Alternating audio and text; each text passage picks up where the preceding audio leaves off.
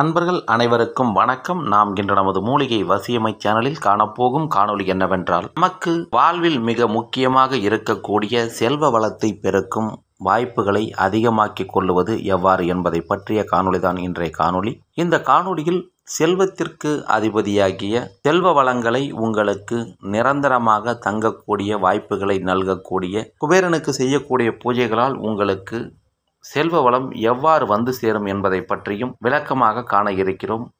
நமது மூலிகை வசியமை சேனலை முதன்முறையாக பார்க்கும் அன்பர்கள் என்றால் சேனலை சப்ஸ்கிரைப் செய்து பாருங்கள். செல்வ வளம் பெருக வேண்டுமென்று நினைக்கக்கூடியவர்களுக்கும் என்னென்ன செய்து நமது செல்வ வளத்தை அதிகரித்து கொள்ளலாம் என்று இருக்கக்கூடியவர்களுக்கும் உதவக்கூடிய வகையில் இன்றைய காணொளி இருக்கின்றது. கடன்பட்ட பலருக்கும் கடன் கேட்டும் கிடைக்காமல் வருத்தப்படுபவர்களுக்கும் அவர்களுக்கு தேவையான பணத்தை நல்ல வழியில் அதாவது நியாயமான முறையில் பெருகச் செய்யக்கூடியதும் தொழில் வியாபாரங்களில் ஈடுபடுபவர்களுக்கு அந்த தொழில் வியாபாரத்திலிருந்து அதிக தன லாபம் கிடைப்பதற்கும் செய்யக்கூடியது எந்திர பூஜை. இந்த குபேர எந்திர பூஜையை நாம் தொடர்ந்தும் முறையாகவும் செய்து வரும் பொழுது நமக்கு தேவையான அனைத்து செல்வமும் மிக விரைவாக கிடைக்கும். அதற்கு குபேர பகவானின் அருள் நமக்கு கிடைக்கும். இந்த பூஜையை வீட்டிலேயே நாம் செய்யலாம். அல்லது நாம் தொழில் செய்யக்கூடிய இடங்களிலும் செய்து நமது வசதி வாய்ப்புகளை பெருக்கிக் கொள்ளலாம். குபேர எந்திர பூஜையை குபேரனுடைய மனம் மகிழச் செய்யக்கூடிய குபேர பூஜை செய்வதற்கு நாம் செய்யக்கூடிய நாளானது வளர்பிறையில் வரக்கூடிய வெள்ளிக்கிழமையாக இருக்க வேண்டும். அல்லது நிறைந்த பௌர்ணமி நாளன்று தொடங்குவது மிகவும் நல்லது. வெள்ளிக்கிழமைகளில் செய்யக்கூடிய குபேர பூஜையானது மிகச்சிறந்த வகையில் பலனை அளிக்கும். சுக்கிர திசை என்று சொல்லக்கூடிய சுக்கிர பகவானுக்கு உகந்தது வெள்ளிக்கிழமை. இந்த நன்னாளில் நாம் குபேர பூஜை செய்யும் பொழுது நமக்கு அதிக அளவிலான செல்வ வளம் பெருகுவதற்கு வாய்ப்புகள் கிடைக்கும். இந்த பூஜையானது தொடர்ந்து ஒன்பது வெள்ளிக்கிழமைகள் செய்யப்பட வேண்டும். வெள்ளிக்கிழமை அல்லாமல் பௌர்ணமி தினத்தில் செய்ய வேண்டும் என்று நினைப்பவர்கள் ஒன்பது பௌர்ணமிகள் தொடர்ந்து செய்ய வேண்டும். பூஜை செய்யக்கூடிய நாளன்று அதிகாலையில் எழுந்து உடல் சுத்தி செய்து கொண்டு குளித்து முடித்த பிறகு சுத்தமான நல்ல ஆடையை அணிந்து கொண்டு பூஜை செய்யக்கூடிய அறையையும் சுத்தம் செய்து குபேரனுக்கு உரிய குபேர எந்திரத்தை மா கோலத்தில் வரைந்து கொள்ள வேண்டும். அதில் உள்ள கட்டங்களை செந்நிற குங்குமத்தினாலும் கட்டங்களுக்கு உள்ளே வரையப்படுகின்ற எண்களை கட்டங்களுக்கு உள்ளே வரையக்கூடிய எண்களை வெள்ளை அரிசி மாவினாலும் குபேர எந்திரம் என்ற வார்த்தையை தூய்மையான மஞ்சள் பொடியினாலும் எழுத வேண்டும். நீங்கள் வரைந்து வைத்துள்ள குபேர எந்திரத்தின் இரண்டு பக்கத்திலும் சிறிய அகல் விளக்கில் சுத்தமான பசுனை ஊற்றி தீபம் ஏற்றி வைக்க வேண்டும்.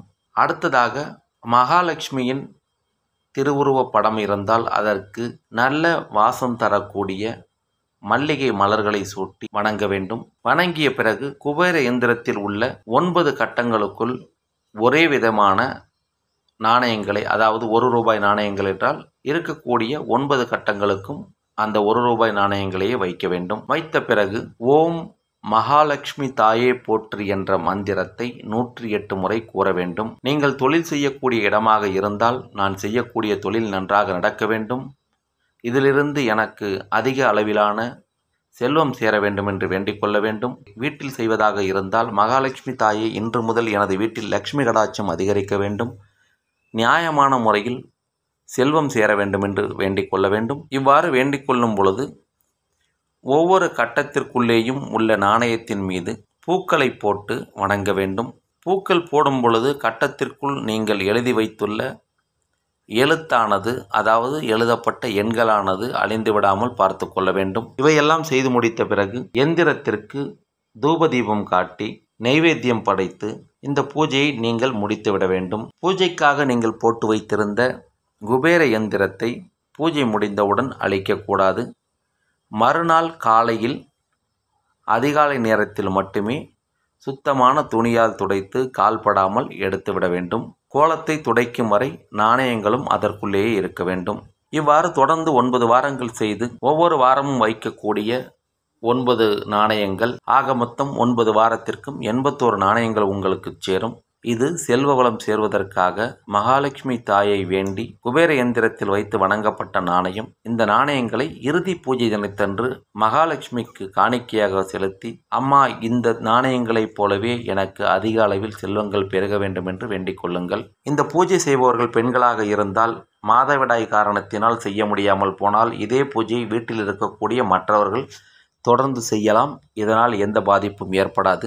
இவ்வாறு நீங்கள் இந்த பூஜையை தொடர்ந்து செய்து வரும் பொழுது உங்கள் வாழ்வில் செல்வ வளம் பெருகும் லக்ஷ்மி கடாட்சம் உண்டாகும் செல்வமானது நியாயமான முறையில் வந்து சேரும். தொழில் நிறுவனங்கள் நடத்துபவர்களாக இருந்தால் தொழில் வியாபார விருத்திகள் ப- ஏற்பட்டு தொழில் வியாபார விருத்திகளின் மூலமாக செல்வ வளம் அதிகரிக்கும்.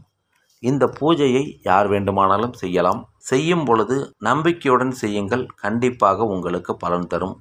இந்த காணொளியில் வந்துள்ள தகவல் உங்களுக்கு பயனுள்ளதாக இருந்தால் பயன்படுத்தி கொள்ளுங்கள். பிறருக்கு பயன் தரும் என்றால் பகிருங்கள்.